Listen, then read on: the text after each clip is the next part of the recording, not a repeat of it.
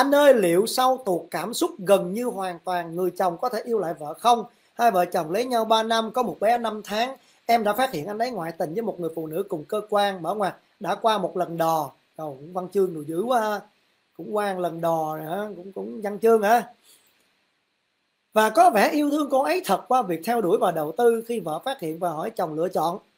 Trời ơi có vụ lựa chọn để chồng sướng dữ ta. Thì anh ấy nói quyết tâm bỏ cô kia nhưng mà nhưng là vì con và anh không còn yêu vợ nữa. Mở ngoặt ngày xưa em đã hành xử sai nhiều và đang học kiến thức và thay đổi gần 5 tháng nay. Đóng ngoặt. Anh nói chỉ còn thương vợ thôi tức là anh ta giữ cái trách nhiệm á.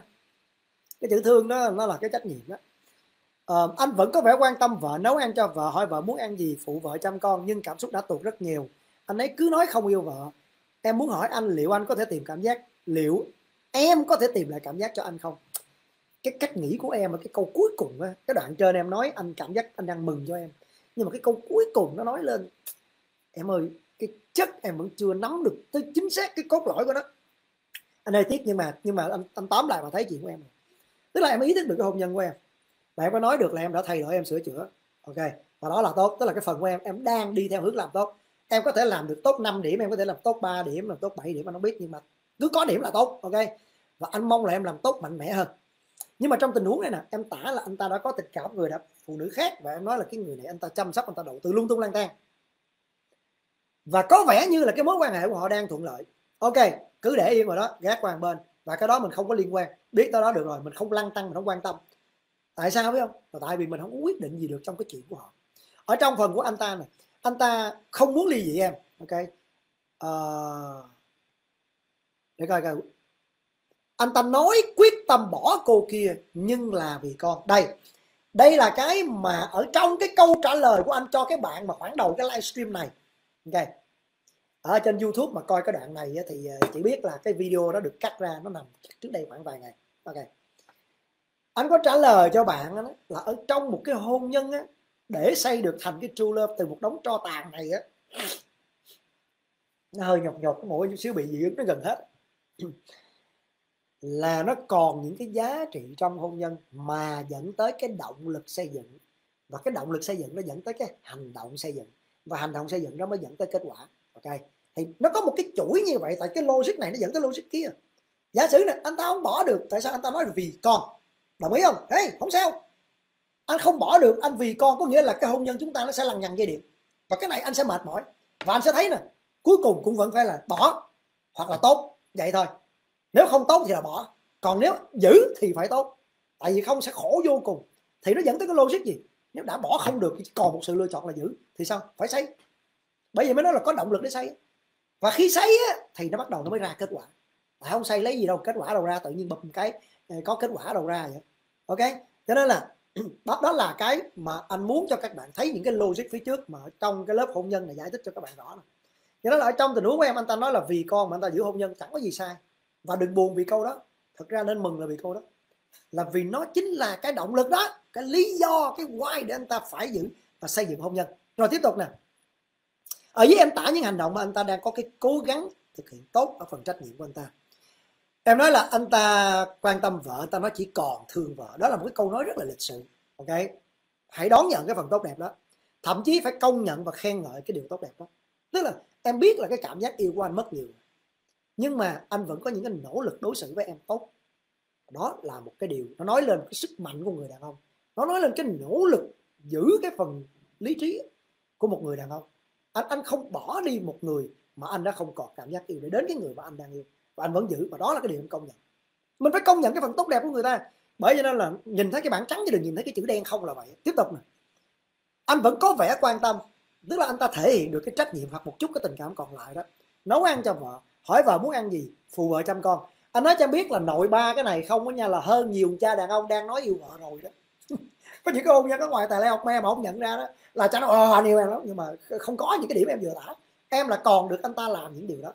Anh đoán là vì những cái thay đổi của em em nói là khoảng 5 tháng này em làm, em nói là hồi trước em hành xử sai nhiều, anh đoán là gây tổn thương nhiều, đúng không? Khi em nói hành xử sai nhiều, thì anh đoán là cái nhóm gây tổn thương rồi, và đang học kiến thức mà thay đổi gần 5 tháng nay thì anh đoán là những cái thay đổi của em nó dẫn tới những cái thay đổi của anh ta. Tuy nhiên, anh thấy một điều nè. Anh nói là nhưng cảm giác tụt rất nhiều, chính xác. Anh thấy một điều mà em nói, em em không có ghi ra trong đây và anh biết là em chưa có, là em chưa ra cái kế hoạch để xây dựng hôn nhân. Em đang có sự thay đổi phiên bản của riêng em. Chưa, có thể là đã được ok, nhưng mà chưa đủ mạnh là một. Thứ hai, em chưa có kế hoạch xây dựng hôn nhân, chỉnh sửa lại hôn nhân em thiếu cái phần đó lớn đó. Em phải có cái kế hoạch đó. Và sự thay đổi của em nó nên mạnh mẽ hơn nữa. Thì lúc đó hai cái yếu tố quan trọng nhất mà em làm được cho hôn nhân của em và bản thân em á, là em thay đổi thành cái phiên bản một cách mạnh mẽ. Và cái này đó nha, là cái quan trọng lắm á. Rất quan trọng, nó là cốt lõi luôn cái thay đổi này nó dẫn tới cái kết quả sâu và bền. Thứ hai là em phải có cái kế hoạch xây dựng cái hôn nhân lại. Và nó là hành động đó. Kế hoạch và hành động làm á, thực hiện. Em thiếu cái đó. Ok? Làm cái này mạnh hơn và thiếu cái đó. Cái này nha, phải đi học nha, đừng giỡn nha các bạn. Nói cho bạn biết đó. cái cái lớp, cái công dung công hạnh hay bước kem chân dung người phụ nữ quyến rũ á nó có cho các bạn nhiều. Các bạn phải tăng được cái độ nữ tính, nó có những cái bạn phải lành hơn. Anh thấy em có vẻ lành hơn rồi đó. Tốt. Em phải tăng được cái độ nữ tính của em lên cao hơn. Em phải tăng được cái giá trị người phụ nữ của em lên. Sức hút của em tăng lên. Cảm giác chồng của em về nhanh hơn. Ok. Tự nhiên, em làm cho em, nhưng mà kết quả nó sẽ, nó như bông hoa vậy đó. Cái bông hoa càng đẹp thì tự nhiên tự nhiên ông bướm nó càng nhiều mình không phải làm vì con bướm con ong mình làm vì mình. Nhưng mà mình càng đẹp mình, mình càng ngát hương mình càng thơm mình càng tươi mình càng đượm sắc mình càng có cái tỏa ra nó hào quang đó thì mình có sức hút hơn. Ok.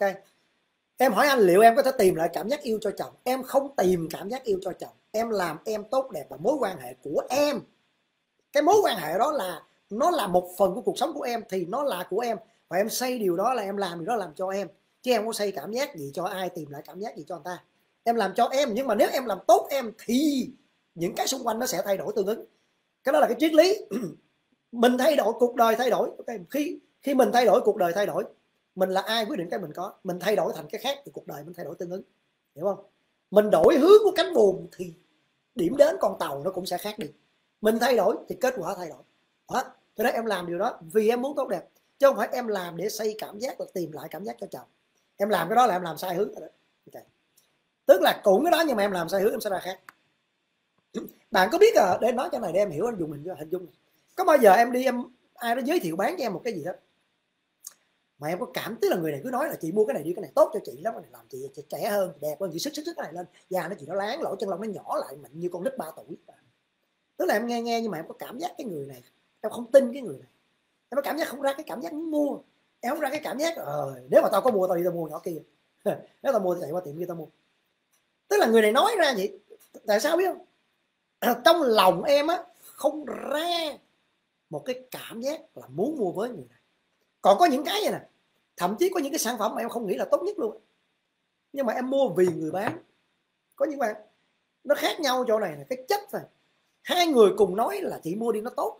Nhưng mà em thấy là không tao cảm giác là mày làm cái tốt cho mày mày muốn bán mà kiếm hoa hồng hay gì đó tao không biết. Okay. còn cái một cái, cái người kia cái ví dụ sau là cái người mà em cảm giác người đó thật sự muốn tốt cho mình. Người đó mới là cái người thật sự có cái chất là của cái người bán hàng chẳng hạn. Em thấy sự em có cái cảm giác đó. Và em là thì cái này anh muốn nói với em chỗ này là cái sự khác biệt mà cái cái cảm giác đó, nó cái chất đó, nó nằm ở ngay cái chỗ ở trong cái ví dụ người bán hàng. Là họ thực sự họ làm như vậy. Họ thực sự họ làm như vậy. Em cũng vậy. Em làm điều này không phải là vì cảm giác vì cho chồng xây cảm giác yêu. Mà cái chất của em làm là em làm vì em muốn hạnh phúc thì cái đó nó sẽ thoát ra như trong cái ví dụ anh nói này. Vì em muốn hạnh phúc, vì em thực sự muốn hạnh phúc và em làm điều đó vì em. Thì lúc đó cái chất em nó mới có. Em hiểu không? Anh đưa cho em cái ví dụ bán người bán hàng để em thấy rằng đừng làm để anh ta tìm lại cảm giác. Làm vì mình muốn hạnh phúc và vì mối quan hệ này là một phần cuộc sống tình cảm của mình.